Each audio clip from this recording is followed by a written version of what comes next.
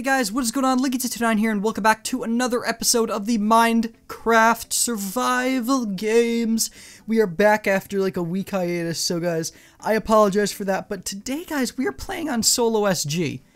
Very random, very out of the blue, but MCSG, MCGamer Network, came out with Solo Survival Games, which is basically SG, but with no teaming allowed. So that's pretty cool. So we're playing solo survival games today. Very excited to be doing this for you guys. It is pretty neat, I gotta say. I'm very hyped to be playing it. Only 12 players per game, which kind of worries me because you've got to be pretty decent, I think, to play this, and I'm not very good. I'm not good at survival games. I'm bad. I stink. But anyway, guys, it's been a while since I've recorded an SG, so I figured we would get another SG out for you all today. We have a weapon, which is very good. My clicking skills from playing Skywars a lot have definitely improved, so that is a decent thing at least. And But my SG skills have not improved, so that is sad. We can go down for this chest here, which gives us an iron ingot, which is very good. So, thing about survival game solo is, I've noticed the games go incredibly quickly, and it's kind of a bad thing for recording,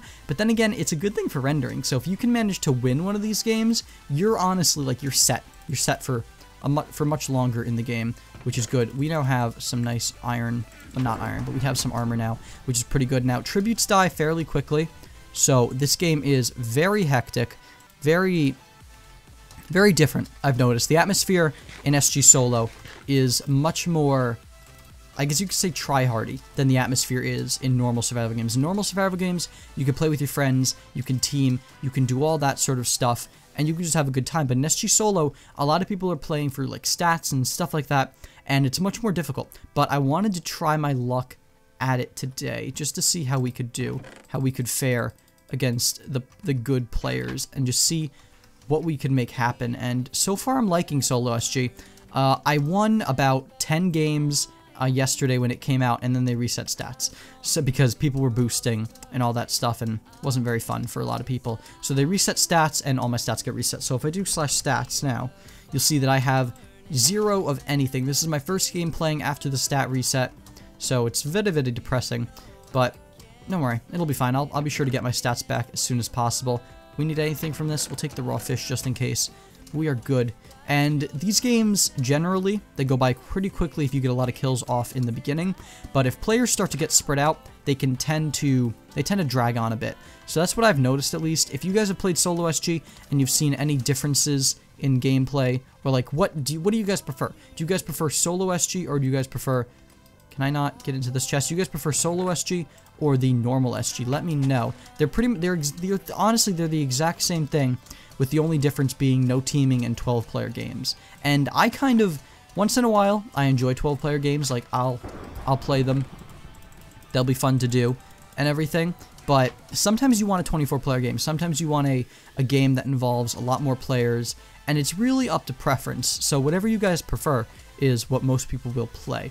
So that's always good to see that um, MCSG is taking a lot of their taking a lot of feedback from the community, which I think is really cool. So what do you, I guess this actually turned into kind of a topic about MCSG and their feedback. Lately, I've noticed that MCSG has been taking a lot more feedback from their players, and I think that's really good to build the server into something great. There is a tier 2, which is good for us, so that's nice for us. We're almost in, we're getting closer to full iron, which is good.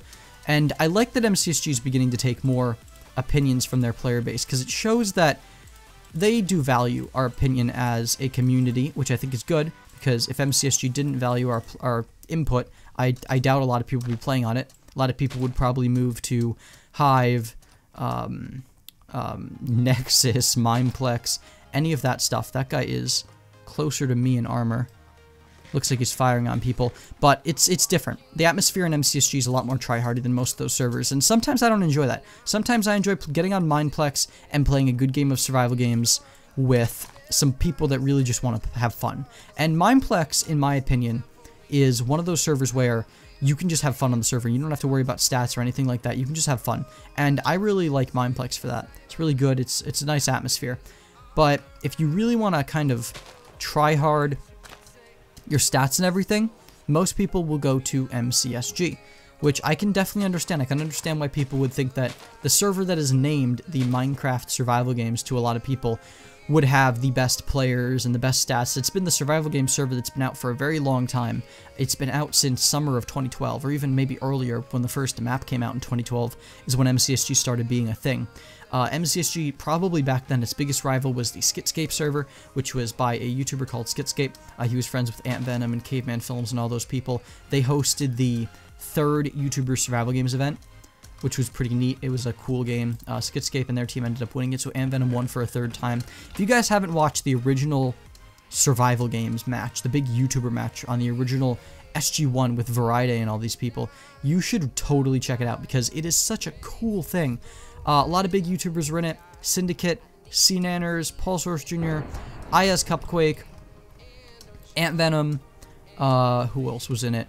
Um, uh, P, uh, P-Bat, um, all the, the really, like, Lucklin, all the original, Chimney Swift, the original big U Minecraft YouTubers were all in it. There was no Sky Does Minecraft that was big back then, or SSundee, or Bajan Canadian, or Nexus servers, or whatever there was. Even the Fridge, which was Bajan Canadian's old SG server, was really good. So, community is a big thing on Minecraft, and it's a big thing in survival games, and a lot of people play on SG, which is kind of the point I was trying to make throughout that entire thing. If we can get a two-player deathmatch, that'd be very cool. That'd be nice if we can get a two-player deathmatch. I don't know how that would work, but you, I thought two, I thought three players meant deathmatch, but I guess it's different in this survival games. I don't know, but we're gonna watch this match go we're to watch this game play out, and we're just going to kind of watch from the skies here. And maybe we'll jump down in the end and see what we can do. Maybe we'll go ahead and down there and go clean up this game, and we will see if we can do that. So I think that might be the thing we're to do. We have to be careful, though. We don't want to be seen. That's my worry. Really don't want to be seen at all. Just kind of want to watch this fight go on from a distance. I don't want them to see me. That is my real fear. So if we can blend in, if we can blend in up here, that would be the thing I want to do. They're getting close to killing each other. It's us three left, and I'm probably the most undergeared out of them all. He just got killed. I'm going down there. I'm going in, I'm going in. Because we're going all in, yes, we're going all in.